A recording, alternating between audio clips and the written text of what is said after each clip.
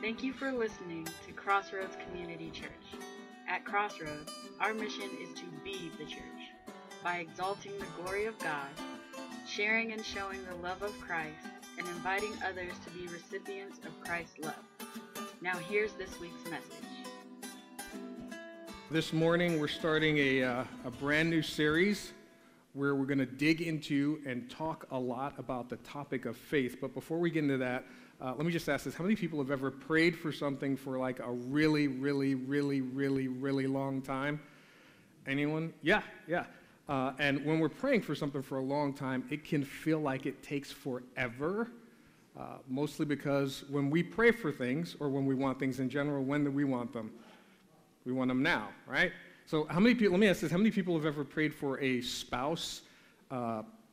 Uh, not, I mean, to get a spouse, not to get rid of one, but pray for a spouse? Yeah, uh, I, I, know uh, lots of people who have. Uh, there are people who have prayed for healing, for a family member to be healed, uh, for a sick one. Uh, we in the band, Patty wasn't feeling good this morning, so we spent some time praying for her. Is there anyone who's prayed for like a, a job situation or a financial situation? Yeah, I know Rob has, and I shared many times of, you know, when I went uh, without work, and I know if I actually go back and look, it was probably a short time, but it felt like at least a year to me. I know it wasn't a full year, but it felt like it, it was a full year. I mean, house almost re, um, foreclosed on, car repossessed almost multiple times, just all kind of different situations and praying through that felt like forever and especially if how many of you prayed for a family member or friend to come to know you know, the Lord and, and, and pray for family members to get saved. Yeah, it can be feel like you've prayed forever. And I know specifically my, my mother,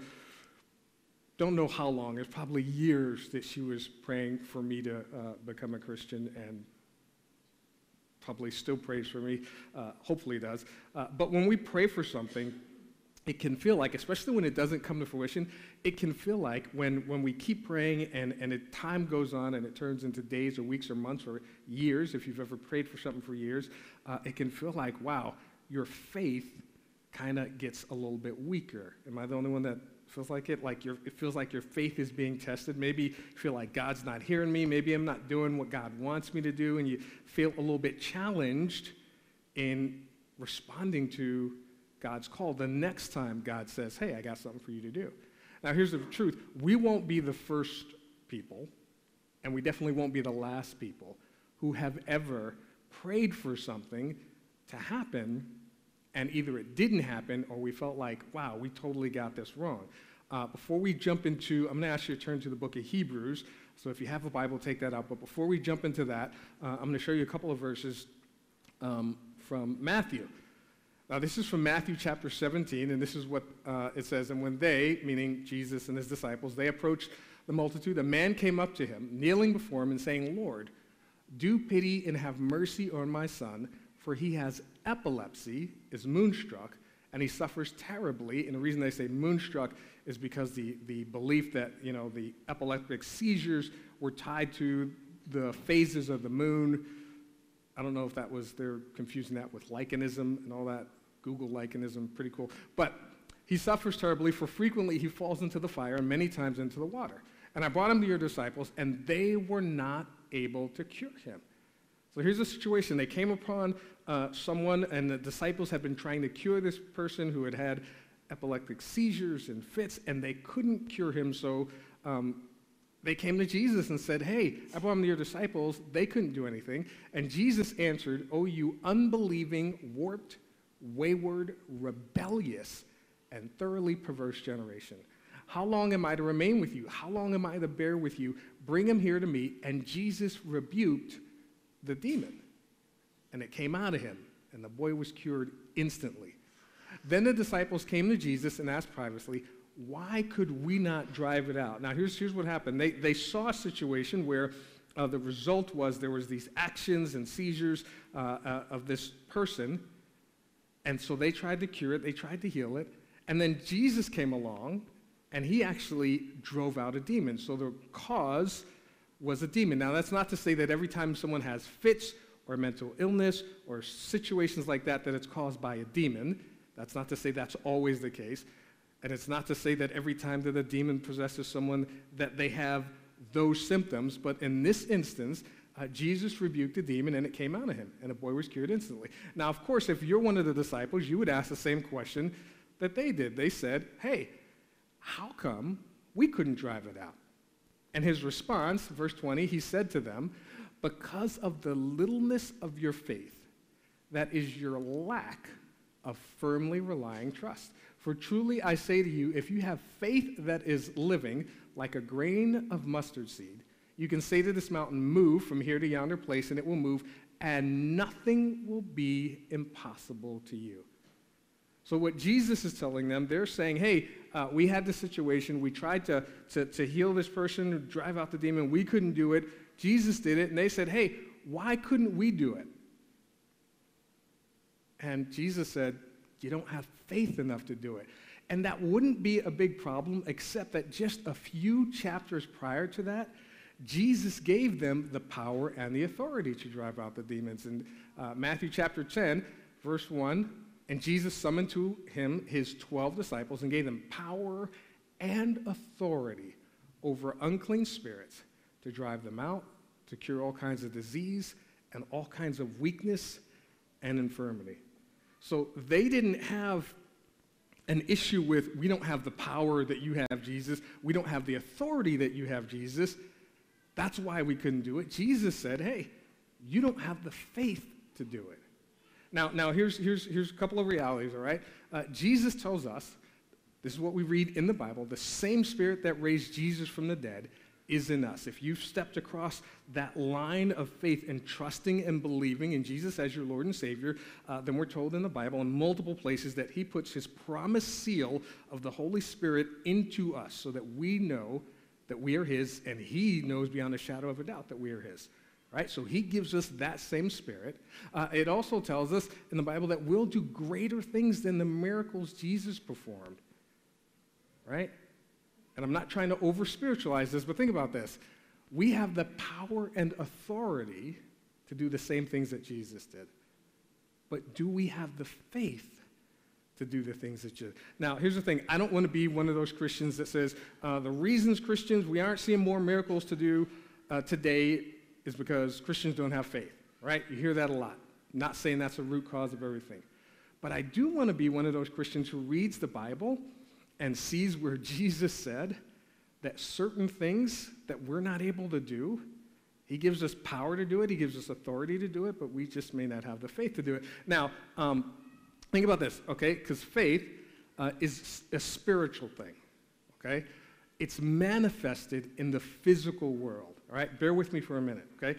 God, who is a spirit, when we step across the line of faith, he takes his spirit and puts it into those of us, we're human, flesh and blood. And now we have the power and the authority to do spiritual things in the physical world because of God's power in us, all right? Not trying to over spiritualize, this, but that's, that's a fact. It's a truth. It's a biblical truth. Now, the same 12, well, not all 12, but the same apostles who couldn't do anything because they didn't have faith, once they saw the resurrected Jesus, they went out and turned the world upside down by doing all kinds of things, all kind of miracles, healing people, raising the dead, um, um, curing the blind, all kinds of things, because their faith was changed. So we're going to spend a little bit of time, um, actually not a little bit of time, we're going to spend a whole lot of time over the next couple of weeks talking about faith, understanding what it means when we use that word, understanding what faith is, understanding how it impacts our relationship with Jesus, how it impacts our relationship with others, how it impacts us as a congregation, how it impacts the church in the world today. All, all this kind of stuff we're going to dig into. Uh, we're going to actually put our faith into action. We're going to do some things here on Sunday morning that's going to challenge us to take a step of faith, and we're going to share our faith. Now, I realize because a lot of times when I say, now go do this or go do that, once we get home and throughout the week, by the end of the day, or, or, or, once we're with the kids or whatever, or in Christy and I's case, when we get home and we're dealing with the puppy and the dogs and all that stuff, your mind's not on, ooh, let me take this, this nugget I got from the message and, and apply it. So while we're all here on some of these Sunday mornings throughout the summer, we're going to take some actions that are going to allow you guys to uh, share your faith. All right? But first, we need to understand what faith is. So um, if you have a Bible, open it up to the book of Hebrews, chapter 11, uh, and it's called, for some of you might know this, called the Hall of Faith. How many people have read Hebrews, chapter 11? So here, here's what we're going to do. Uh, many of you have read it. We're going to, and when I've read it, I've read it I don't know how many times. I usually read right through. I stop at some things. I look at some things. But we're actually going to dig into it and look at the lives of the people who were mentioned, how their lives were changed, how their faith was challenged, how they persevered. What, what, what did they do or what things they didn't do, and how God used them and transformed their lives uh, because of their faith. So turn to um, Hebrews chapter 11, and we're going to start, start right off in verse 1.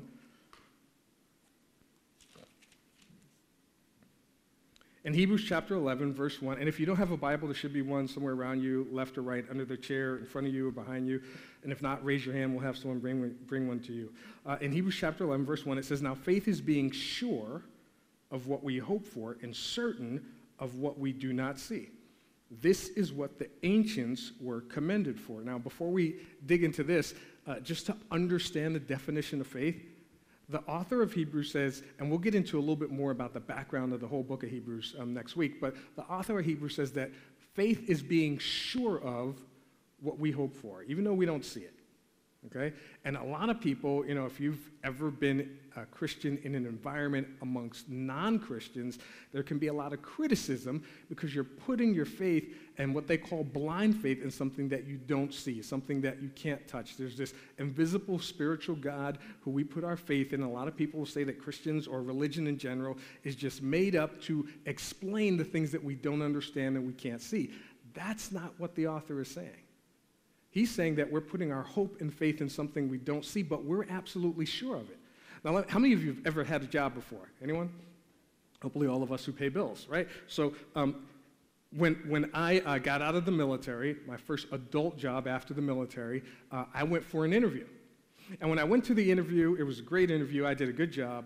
Who could expect anything less? But um, they said, you know, pretty much the job is yours. See you on Monday show up and we'll, we'll get you all squared away. Now, they didn't give me anything to put in my hands to say, you have this job. But I showed up on Monday because I was believing that I had the job. Now, I knew that I was going to have to, when I got there, I was going to have to fill out paperwork and all this stuff. But that, that's kind of like faith. I showed up because someone told me this is what's going to happen and I believed it and I acted on it. That's what faith is. God said, Here is what has happened, and here is what's going to happen. And then faith is us believing it and moving ourselves in our lives based on what God has said. Now, James, in the book of James, adds a little bit more to that. He says this uh, James says in verse chapter 2, verse 14, he said, What good is it, my brothers, if a man claims to have faith but has no deeds? And he's not saying that, you know, uh, when we put our faith in God, that we have to do deeds in order to get in right standing with God. He's saying if you have faith, then there should be physical evidence of your faith in your relationship with God. And uh, one of the people at the, uh, the, the, conference yesterday, a man up conference, I forget which one said it, uh, he said that a Christian man or woman, but a Christian man should be different than every other man on the planet. If you have the Spirit of God living in you, doesn't matter what people say about you, doesn't matter what they're not saying about you, doesn't matter what they believe about you, you should be different because you have God's Spirit in you. And so, what James is saying is, What good is it, my brothers, if a man claims to have faith but has no deeds? Can such faith save them? Suppose a brother or sister is without clothes and daily food. If one of you says to them, Go, I wish you well, keep warm and well fed, but does nothing about his physical needs, what good is it? In the same way, faith by itself, if it is not accompanied by action, is dead. But someone will say, You have faith, I have deeds. Show me your faith without deeds, and I will show you my faith by what I do. So, for this, we're going to take this in Hebrews, and our working definition for this series is this faith is being sure and certain of what God is doing or will do in one's life, and acting on that knowledge living one's life in a way that reflects their faith regularly and consistently, even when there is no evidence of God at work. Does, that make sense to everyone? Here, here's, let's do this. If you read um, on, on the count of three, just the red words, we're going to read this together on a count of three. Just the red words. You get a, the, a working, very hardcore understanding of what faith is. Ready? On a count of three. One, two, three. Being sure and certain of what God is doing and acting on that knowledge even when there is no evidence. That's what faith is. That is the basic, bottom line understanding from a biblical concept uh, of what faith is. All right, so now here's what we're going to do we're going to talk a little bit about the people that we're reading about. So jump back to the book of Hebrews. And in verse 3, this is what we read By faith, we understand that the universe was formed at God's command so that what is seen was made out of what was visible. By faith, Abel offered God a better sacrifice than Cain did. By faith, he was commended as a righteous man when God spoke well of his offerings. And by faith, he still speaks even though he is dead. So let's talk a little bit about Abel's faith, because that's, that's what we want to do is dig down into these people, what they did, how their lives uh, interacted, what can we learn from them that's going to help us and encourage us in our faith. Uh, the first thing that the author of Hebrews tells us about Abel's faith is Abel's faith was put into action. The offering that he made, it says that he brought by faith. Now, we can argue all day about who brought the better offering or why they brought different offerings. And there are lots of theories out there about why, you know, Cain brought vegetables and Abel brought meat. I mean, the most common and basic understanding is meat is always better than vegetables. That's not a theological concept, that's just my opinion. But we can argue about that all day, but his faith was put into action, and uh, it could be a lot of theories about because they were, you know, brothers and sisters. Anyone have siblings? Yeah. Anyone have sibling rivalries with your brothers and sisters? Yeah. It, it's, it's okay to, to try to one up a brother or sister. Um, it's okay to try to bring a better gift to mom and dad or bring a better you know, meal to the family cookout. Um, it's not okay to beat your brother or sister to death with a rock, which is what happened with Cain and Abel. But it could have been a sibling rivalry. It doesn't tell us why, but it does tell us that Abel's gift was offered, he brought it, as an act of faith. And then just a few verses down, this is what it says about faith. And without faith, it is impossible to please God because anyone who comes to him must believe he exists and that he rewards those who earnestly seek him. So Abel's gift was authored as an act of faith, and when he put his faith into action, it pleased God. Uh, it also tells us that his faith made him righteous. Now, it's not, it's not in the same way that someone is made in right standing with God today back then, and this is even before the law, but the understanding was that in order to be in right standing with God because of our sin, uh, the penalty of sin is death, so something had to die. So an animal was sacrificed, and that animal sacrifice, that death, atoned for or took the place of a human's sin, which was deserving of death, their separation from God.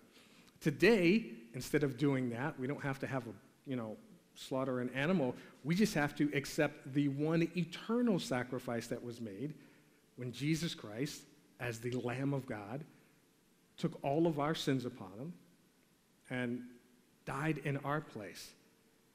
And instead of us bringing a sacrifice, all we have to do is accept that that sacrifice paid the penalty for our sins. And when we accept it, then God says, Yeah, you know what? You are now declared in right standing with me, and he puts his Holy Spirit in us uh, to seal our relationship with him. So, in that essence, he was made righteous. Uh, but it also says that his faith testifies to this day. We're reading about it, we're talking about it now. And Jesus even talked about it because uh, in Luke chapter 11, this is what we read. Therefore, and he's talking to the people of Israel, he says, Therefore, also the wisdom of God said, I will send them prophets and apostles, some of whom they kill and persecute so that the blood of all the prophets shed from the foundation of the world may be charged against this generation, from the blood of Abel to the blood of Zechariah, who perished between the altar and the sanctuary. Yes, I tell you, it will be required of this generation. Now, the reason it was required of this generation is because the Israelites were the people from whom God would have prophets come and declare to the world the truth of God's word. The Israelites were also the people who were supposed to maintain the accuracy of God's word. And Jesus tells us somewhere else that all of the prophets and all of the Old Testament pointed to him. And so the people who were supposed to maintain the word about the prophets that point to Jesus, when Jesus showed up and said, Here I am, they rejected him and they refused to hear him and refused to acknowledge him. And so he says, Yeah, you guys are going to be held responsible. But he also says, The blood of all the prophets shed from the foundation of the world, and the first blood of a prophet he mentions is Abel, which would help us kind of understand why Abel, before the law, would bring a, a, a meat and fat portion sacrifice as an offering to God. It's because he had already been spending time with God, talking to God, hearing from God, and telling others about God. So here's, here's, here's the final thing that, that, that the book doesn't actually tell us this, but yeah, his faith was put into action. His faith made him righteous. His faith testifies to this day, but his faith also cost him his life. His faith is what led him to bring that particular offering, and because of that, his brother killed him. And there are things that we do today because of our faith where all we end up with is someone slamming us on Facebook or sending a bad tweet about us or talking bad about us at work. Yet we have missionaries that we support here that are in countries where it's not, if, if, if they go public with their sharing of the gospel, they're not just going to get slammed on Facebook, they're going to get killed. And if you guys, I can't, I won't mention her name now, but um, one of the families we support, we shared this a while back, they were sending out prayer requests because they were filling up rooms like this in the Middle East with people sharing the gospel, and then their pictures appeared on the news as criminals of the state because they were sharing the gospel and they were being hunted. As far as I know, they're still okay from my last communication with them. But that's the risk of living out your faith.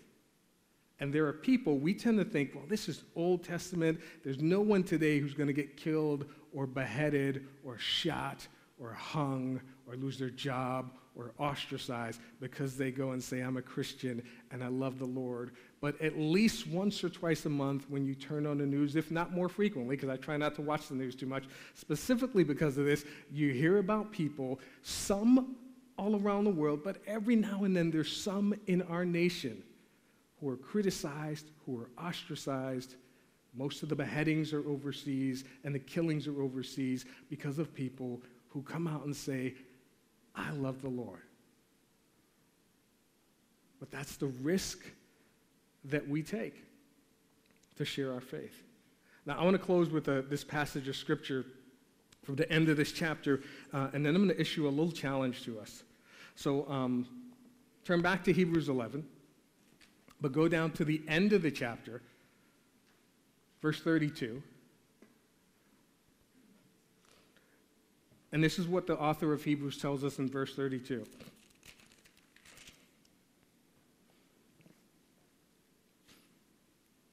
He says, And what more shall I say? I do not have time to tell about Gideon, Barak, Samson, Jephthah, David, Samuel, and the prophets, who through faith they conquered kingdoms. And we, we struggle today in this country and in other countries like, hey, you know what? Politics and, and the governments and all this stuff.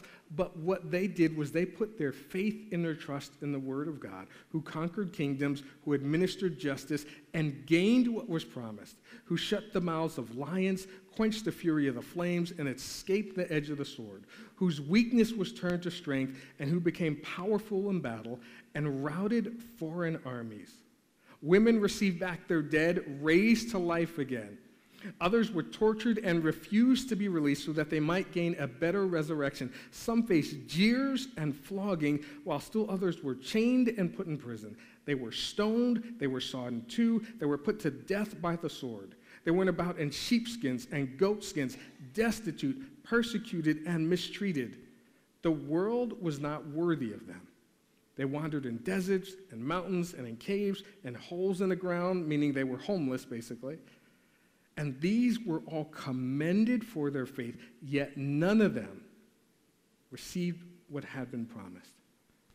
And today, when we leave and go out into the public, we're, we're afraid to take a stand. Not that we're supposed to bash the things of the culture, but we're supposed to stand up for the things of God. And I want to share with you this picture as, as the band comes up before we uh, close out in this last song. I want to share with you this picture before anyone says anything. Yes, it's from a comic book, all right? But it's also from a movie. It's, it's one of these awesome quotes, uh, and I just love it. It's from a, a comic book series. Uh, how many people have heard of Captain America? Okay, comic book series called Civil War, which I think it was 2006, 2007. It was a year long comic book series where, you know, people were fighting against one another and arguing against one another because the government said the superheroes had to do this and the superheroes said no. And then superheroes all took a side and they were fighting against one another. And one of the most iconic awesome um, pictures from that comic book series the quote made its way into the movie. And this is the quote from Captain America, and he says, It doesn't matter what the press says, it doesn't matter what the politicians or the mob say, it doesn't matter if the whole country decides that something is wrong, is right. This nation was founded on one principle above all else the requirement that we stand up for what we believe, no matter the odds or the consequences. When the mob and the press and the whole world tell you to move, your job is to plant yourself like a tree beside the river of truth and tell the whole world, no, you move. And if you're a Christ follower, it doesn't matter what the culture tells you, what the government tells you. It doesn't matter what, what, what, what the people at work are telling you, the people on Facebook are telling you. Our job is to stand up for the word of Christ and do what God has called us to do. So I'm going to ask you guys to stand, and he's willing to ask you to do. I'm going to ask you guys to do a little challenge. Some of you, this may, may not work for all of you, uh, but how many people have a smartphone? Yeah. If you have a smartphone, here's what I'm going to ask you to do. I'm going to ask you to just take a step of faith. And you're going to say, well, how does this work? This isn't really challenging my faith. Uh, hear me out. I'm going to ask you to take a step of faith and take out your smartphone and check into this church. And it's basically letting people know who look at your Facebook status, whatever, that, hey, you're at church on Sunday morning. And most of us don't do that every Sunday morning. There are people that know we go to church, there are a lot of people that don't. And you can, you know, I, I put up the hashtag, thank God for my siblings, because we're talking about Cain and Abel, uh, even though, you know, my sister's not that fond of me. Uh, and I put the hashtag, that's what faith can do. But even that little thing of just checking in somewhere and saying, hey, I'm, it's Sunday morning, I'm at church. You don't have to put on praising God or whatever. Uh, there will be, and I've, I've heard stories about people who there will be people who say, hey, I never knew that you went to church. Or tell me about that church. Or are you a Christian? And it gives you the opportunity to share your faith. So I'm going to ask you guys to stand. Uh, God, we just pray that we would be true to who you have called us to be, to be your church, to be your people, that your spirit would guide us and lead us, and that we would stand together, not to fight against the culture, not to fight against the government, but to stand up for your word and your truth. We pray this in Jesus' name. Amen.